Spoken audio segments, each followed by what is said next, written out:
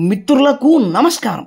మిత్రులారా అభివృద్ధి చెందిన దేశాలు అంటే అర్థం మీకు తెలుసా? ఏమీ లేదండి వాళ్ళేమీ కష్టపడకుండా పక్కవాడు కష్టపడుతుంటే వాడి మీద జలగలా పడి బతికేయడమే అభివృద్ధి చెందిన దేశాలు అని అంటే అర్థం. ముందు యూరప్ దేశాలు ఆ తర్వాత అమెరికా.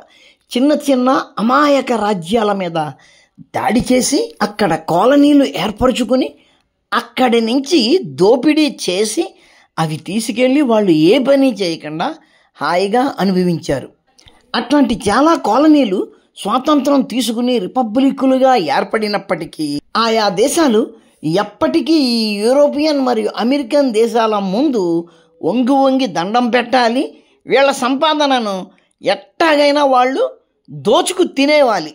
అవి రిపబ్లిక్కులే అయినా స్వతంత్ర రాజ్యాలే అయినా వాళ్ళు దగ్గమన్న దగ్గర దగ్గాలి ముక్కమన్న దగ్గర ముక్కాలి. ఎక్కడైనా అక్కడి ప్రభుత్వాలు వారు చెప్పిన మాట వినకపోతే గనక ఆ ప్రభుత్వాలను కూల్చేయాలి. అటువంటి ఆశయాలతో నడుస్తున్న ప్రపంచ పెద్దన్న అమెరికాకు భారతదేశంలో ఒక చెప్పులో రాయలా తయారయ్యాడు మోడీ. అత్యంత జనాభా కలిగిన భారతదేశానికి బోలెడన్ని వ్యాక్సిన్లు అమ్మేసి బోలెడంత డబ్బు దోచేసుకుందాం అనుకున్నారు వాళ్ళ బ్యాడ్ ఏంటంటే మోడీ వల్ల వాళ్ళ వ్యాక్సిన్లు ఇక్కడ అమ్మకం సంగతి పక్కన పెడితే అనేక చిన్న చిన్న దేశాలకు భారత్ వ్యాక్సిన్లు సప్లై చేసి వాళ్ళ వ్యాపారానికి గండి కొట్టింది. వ్యాక్సిన్ల విషయం ఒక ఉదాహరణ మాత్రమే.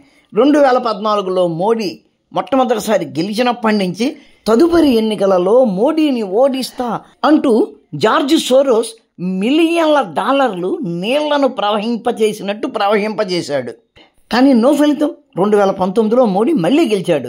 రెండు వేల పంతొమ్మిది ఎన్నికలు అయిన వెంటనే బడ్జెట్ను నాలుగు రెట్లు చేసుకుని మోడీని ఓడించడం కోసం రెండు వేల పంతొమ్మిది నుంచే వాళ్ళు ప్రణాళికలు వేసి శ్రమపడ్డారు. ఫలితంగా మోడీ చేతిలోంచి సుమారు అరవై సీట్లు లాగేసుకోగలిగారు. అయితే ఇప్పుడు రెండు వేల ఇరవై నాలుగులో మోడీ చేతిలో మళ్ళీ ఓడిపోవడంతో ఈసారి సిగ్గు శరము వదిలేసి డైరెక్ట్ అయిపోయారు. ఒక్కసారి ఈ పోస్ట్ చూడండి. ఇక జార్జ్ సోరోస్ వంటి ఎన్జిఓల వంక పెట్టుకొని యుద్ధం చేయడం మానేసి అమెరికా డైరెక్ట్ అయిపోయింది. యుఎస్ ఎంబసీ ఇన్ ఇండియా ఒక ప్రకటన ఇచ్చేసింది. ఆ ప్రకటన ఏమిటో చూసారా మీరు సోషల్ మీడియా ఇన్ఫ్లుయెన్సర్ కానీ కంటెంట్ క్రియేటర్ కానీ అయి ఉండి దేశాన్ని సమూలంగా మార్చాలి అన్న భావజాలంతో ఉంటే గనక. రండి మీరు వస్తే మిమ్మల్ని భయంకరంగా తోమి భయంకరమైన పదునైన కత్తులుగా తయారు చేస్తాం. భారతదేశ ప్రజలను జాతీయ భావాల నుంచి పక్కకు మళ్ళించే ఇన్ఫ్లుయెన్సర్లుగా మాతో చేతులు కలపండి మా దగ్గర ట్రైనింగ్ తీసుకోండి లచ్చలకు లచ్చల డబ్బులు సంపాదించండి అనుకుంటూ యాడ్ ఇచ్చేసింది. ఇక్కడ ఉన్న దాని ప్రకారం రేపు జూలై ఇరవై ఐదున సాయంత్రం ఆరు నుంచి ఎనిమిది గంటల మధ్యలో న్యూఢిల్లీలోని అమెరికన్ సెంటర్కు రమ్మన్నారు. అయితే నాకు తెలిసిన సమాచారం ప్రకారం ఢిల్లీయే కాకుండా దేశంలో మరో ఆరు ప్రాంతాలలో ఇటువంటి రిక్రూట్మెంట్లు జరుగుతున్నాయి. ఆ రిక్రూట్మెంట్లు జరిగే ప్రాంతాలలో హైదరాబాద్ కూడా ఒకటి ఉంది అని సమాచారం ఉంది. దీనికి అమెరికా పెట్టిన పెట్టుబడి భారత రూపాయలలో లక్ష కోట్లు. మరి అమెరికా ఈ కార్యక్రమానికి ఇన్ఛార్జిగా ఎవరిని పెట్టుకుంది? ఇక్కడ కనపడుతున్నాడు కదా మహేష్ బాబులా ఉన్నాడు. అవునా? ఈయన పేరు ఆకాష్ బెనర్జీ. ఈయన ఛానల్ పేరు దేశ్ భక్త్. అమెరికా ఈయననే ఎంచుకుంది అంటే ఈయన ఎంత దేశభక్తుడో అర్థమైపోతుంది. ఒకసారి ఈయన ప్రొఫైల్ చూద్దాం. ఈయన వయసు నలభై నాలుగు. Journalist radio jockey YouTuber political satirist. నాలుగు పాయింట్ నాలుగు నాలుగు మిలియన్ సబ్స్క్రైబర్లు ఆరు వందల ఇరవై మూడు మిలియన్ల వ్యూస్. రేడియో మిర్చిలో జాకీగా చేశారు ఆ తర్వాత టైమ్స్ను ఆ తర్వాత ఇండియా టుడేలో చేశారు. ఈయన ఛానల్ మీద మనం కూడా లోగడ ఒక వీడియో చేశాము. ఈయన వీడియోల్లో ప్రతి ఒక్క క్షణం కూడా యాంటీ మోడీ యాంటీ హిందూ. ఆ వీడియో లింకును కామెంట్లో పించేస్తాను అలాగే డిస్క్రిప్షన్లో కూడా ఇస్తాను. అయినా తనకు సుదూరంలో ఉన్న తనది కాని దేశంలో ప్రణాళికాబద్ధంగా ఐదు సంవత్సరాల కాలంలో లక్ష కోట్లు పెట్టాలి ఖర్చు పెట్టడానికి ప్రణాళిక వేసుకుంది అమెరికా. అంత అవసరం ఆ దేశానికి ఏమొచ్చింది?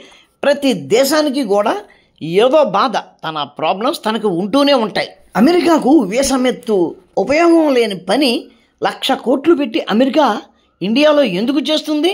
యాక్చువల్గా అమెరికా మనస్తత్వాలు చాలా భయంకరంగా తయారైనాయి. కనపడ్డవాడిని కనపడ్డ చోట కనపడినట్టు కాల్చిపారేస్తున్నారు. అమ్మాయిలేమో అబ్బాయిల బట్టలు వేసుకుంటాము అంటుంటే అబ్బాయిలేమో అమ్మాయిల బట్టలు వేసుకుంటాము అని తిరుగుతున్నారు. అమెరికా చేయవలసింది ఏమిటి అంటే తన పౌరులు సక్రమంగా ప్రవర్తించేలాగా తమ దేశం పట్ల భక్తి ప్రదర్శించేలా మారేలాగా వాళ్ళని మార్చుకోవాలి. అమెరికా తన జనాభాలో మార్పు తెచ్చుకోవడానికి ప్రయత్నించాలి. కానీ అటువంటి మార్పు భారతదేశంలో తెస్తానంటుంది. అది ఎట్లాగా? తన దేశాన్ని ప్రేమించే వాళ్ళు కూడా దేశాన్ని దేశాన్ని పాలించే వాళ్ళను ద్వేషించేలా మార్చడం కోసం. అటువంటి వాళ్ళకు వంత పాడేవాళ్ళు ప్రతి దేశంలోనూ ఉంటారు. మన భారతదేశంలో కూడా ఉన్నారు. అమెరికా భారతదేశంలో ఇటువంటి చర్యలకు బాహటంగా ఇంత బాహటంగా పూనుకున్నప్పుడు భారత ప్రభుత్వమే అధికారికంగా తన ప్రజలలో దేశభక్తి మీద అవగాహన పెరిగేలా చేయడం కోసం లక్ష కోట్లు కాకపోతే రెండు లక్షల కోట్లు అదనంగా పెట్టుబడి పెట్టి అటువంటి క్లాసులను తను కూడా నిర్వహించాలి కదా. నేను చెప్పేది డైరెక్ట్గా ప్రభుత్వం సొమ్ముతోటే.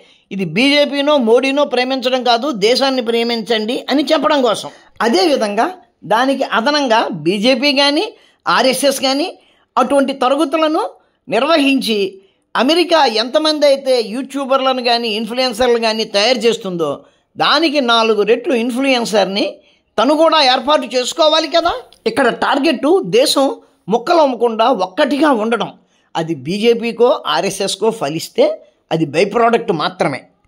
ఏమో మనకే ఇన్ని ఊహలు ఇన్ని ఆలోచనలు ఉంటే మోడీకో బీజేపీకో ఆర్ఎస్ఎస్కో ఉండవా? ఏమో మొన్న ఇరవై నాలుగు ఎలక్షన్ల ముందు కూడా మేము అలాగే అనుకున్నాం. కానీ నాకు తెలిసి ఏ జాతీయవాద యూట్యూబ్ ఛానల్కి కూడా ఆర్ఎస్ఎస్ నుంచి కానీ బీజేపీ నుంచి కానీ ఎటువంటి సపోర్టు లేదు. ప్రత్యర్థులు పోలీసు కేసులు పెడుతున్నా హెరాస్ చేస్తున్నా ఏమిటి సంగతి అడిగిన వాళ్ళే లేరు. సోషల్ మీడియాలో అక్కడక్కడ వినిపిస్తున్న మాటలు ఏమిటి అంటే బీజేపీ నాయకత్వానికి ఆర్ఎస్ఎస్ నాయకత్వానికి మధ్య స్పర్ధలు ఏర్పడ్డాయి అన్నట్లుగా. అటువంటిదే ఉంటే కనుక వారు వెంటనే కూర్చుని వాటిని సరిదిద్దుకోవాలి. లేకపోతే ఇద్దరు కూడా కాంగ్రెస్ పార్టీ జరిపే హలాలా దాడికి సిద్ధంగా ఉండాలి. మిత్రులారా వీడియో నచ్చితే లైక్ చేయండి షేర్ చేయండి మీ కామెంట్ పెట్టండి. మన ఛానల్ని ఇంకా సబ్స్క్రైబ్ చేసి ఉండకపోతే వెంటనే సబ్స్క్రైబ్ చేయండి. వీలుంటే మన మిత్రులందరికీ మన ఛానల్ లింకు షేర్ చేయండి. ఉంటాను నమస్కారం మతోన్మాదంపై రామబాణ.